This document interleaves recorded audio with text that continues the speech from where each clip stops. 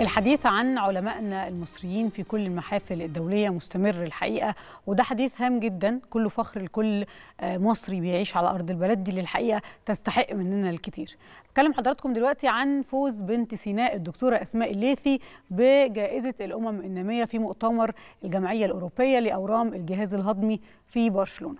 ده موضوع مهم جدا الحقيقة موضوع البحث اللي هي أخذت عنه الجائزة وهو تغيير خطط العلاج في المستقبل لاستخدام طرق غير العلاج الكيماوي لعلاج الأورام الخاصة بالجهاز الهضمي. والحقيقة أنه ده بيمس كل العالم لأنه ده شيء بقى يعني شائع. أورام الجهاز الهضمي والعلاج الكيماوي وتأثيراته القاسية جدا على المرضى من هذا النوع أكيد حضراتكم لمستوها وأكيد كان عندكم حد مصاب بهذا النوع من الأورام. عايزين نعرف بنتنا الباحثة المصرية دكتورة أسماء الليثي الطبيبة بمستشفى جامعة قناة السويس قدرت إنها آه تغير إيه في خطط العلاج من خلال هذا البحث. مساء الخير على حضرتك يا دكتور ومتشرفين بوجود حضرتك معانا وألف مبروك للجائزة. مساء النور يا فندم. الله يبارك في حضرتك. عايزة أعرف من حضرتك تفاصيل البحث. وموضوع آه علاج الأورام وخصوصا أورام الجهاز الهضمي وده نوع منتشر من الأورام بغير العلاج الكيماوي. إيه اللي بتقدميه في البحث يضاهي العلاج الكيماوي ممكن إنه يشفي الناس من أورام الجهاز الهضمي؟ هو حقيقة أورام الجهاز الهضمي أنواع كتيرة جدا هي مش نوع واحد بس. والبحث ما كانش بينفي استخدام ضرورة استخدام الكيماوي ولكن كان عبارة عن تقييم لدور العلاج الكيماوي في نوع معين من الأورام اللي بتيجي في الجهاز الهضمي. خصوصا العلاج الكيماوي دلوقتي لا غنى عنه في أورام كتير في علاج أورام كتير بتطلع في الجسم من ضمن الخطط أو العلاج أو الركائز الأساسية في علاج الأورام بتبقى مثلا الاستئصال الجراحي لو كان. ينفع سواء علاج هرموني أو علاج إشعاعي أو علاج كيماوي. أو في جديد العلاج المناعي في خطط كتيرة أو خطوط علاجية كتيرة للأورام. دي خطوط متوازية يا دكتور ولا خطوط بديلة للعلاج الكيماوي؟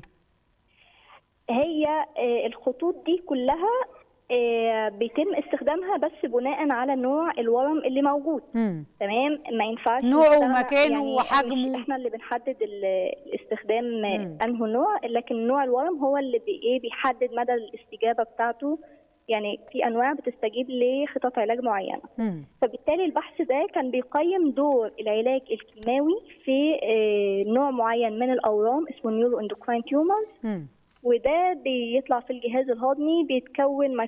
تحت الميكروسكوب من خلايا غدد صماء دي بتتفاعل مع الجهاز العصبي فبتنتج هرمونات بكميات كبيرة وده شيء غير طبيعي آه ففي الحالة دي كان في جدل في الفترة اللي فاتت بس هل العلاج الكيماوي هو أفضل علاج ليها ولا ممكن يتم علاجها جراحيا فقط ولا ممكن نستخدم علاج هرموني بديل وهكذا.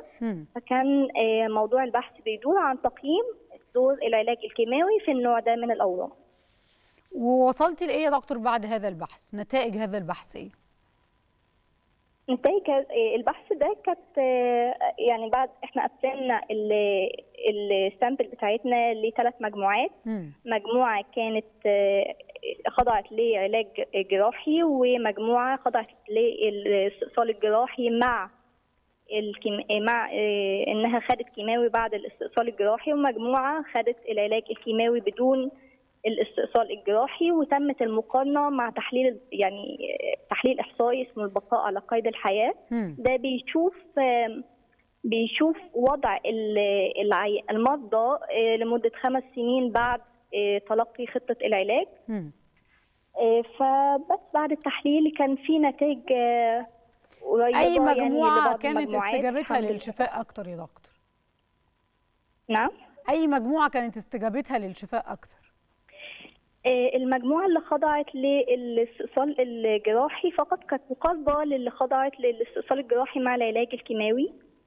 فالاثنين إذا كان النتائج قريبة من بعض فممكن العلاج الجراحي يكون أفضل من إن إحنا نزود العلاج الكيماوي معاه. ده في نوع في مرحلة معينة من ال neuroendocrine tumor هو مش كل الخ... المراحل كمان. مم. كل الخاضعين من نفس الجنسية كل الخاضعين لهذه الطرق العلاجية المختلفة ولا كان البحث على أكثر من جنسية؟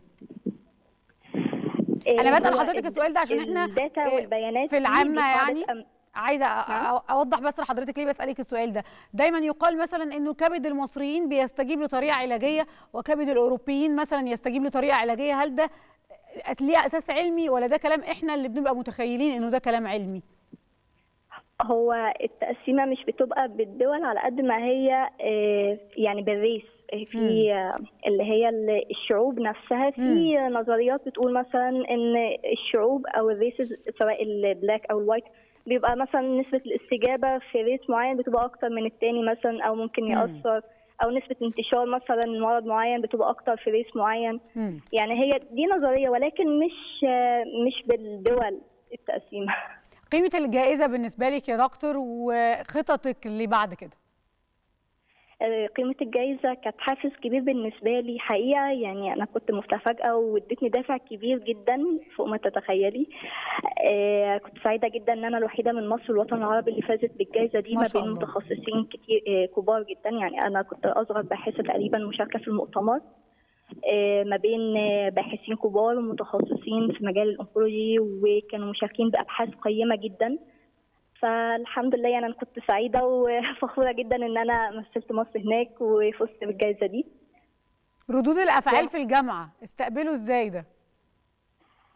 آه، حقيقة أنا حاليا آه، كنت سابقا آه، طبيبة امتياز في مستشفى جامعة قناة السويس. بس حاليا طبيبة تكليف في الهيئة العامة للرعايه الصحيه ده يعني لسه متخرجة يعني امتياز وتكليف ده يا دوب يعني.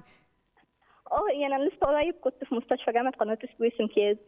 آه، هو أنا من قبل ما أرجع يعني مجرد ما نشرت بس على الفيسبوك إن أنا فزت وكده يعني لقيت آه، كل الناس بتبارك لي وفرحانة ليا ومن أهلي وأصحابي وأهل شمال سيناء وحتى السيد اللواء محافظ شمال سيناء كرمني وأنا فعلا سعيدة برضه بفرحة الناس اللي حواليا وفرحة كل الناس اللي بتبارك لي تستحق يا دكتور كل الفرحة والفخر. أنا بشكرك شكرا جزيلا ومبروك وبتمنى لك مستقبل آه، كله نجاح وتقدم بإذن الله. دكتوره أسماء الليسي طبيبه بمستشفى جامعة قناة السويس شكرا جزيلا. ويعني دايما آه، نشوفكم آه، دايما طول الوقت كل علماء مصر مشرفينا في كل المحافل الدولية.